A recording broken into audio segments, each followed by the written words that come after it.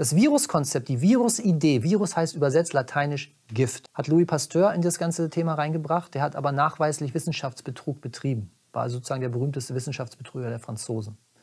Auch das wissen viele nicht. 1993, also ich glaube 100 Jahre nach seinem ähm, Ableben, durften die Tagebücher veröffentlicht werden. Oder, oder Anfang der 90er Jahre. Und da hat ein Princeton-Professor hat das sich angeschaut und hat beide äh, verglichen, also die geheimen Tagebücher, die unter Verschluss waren, also die privaten und die offiziellen Labortagebücher. Und dann konnte er sehen, dass er nachweislich Wissenschaftsbetrug betrieben hat. Ja. Also das ist bekannt. Das heißt, die ganze Theorie mit Viren, mit, mit äh, bösen Bakterien und so weiter, ist eine Wissenschaftslüge. Auf dieser Lüge basiert aber alles andere, was heute uns durch die Politik und auch durch irgendwelche Wissenschaftskoryphäen immer wieder mantraartig wiederholt werden.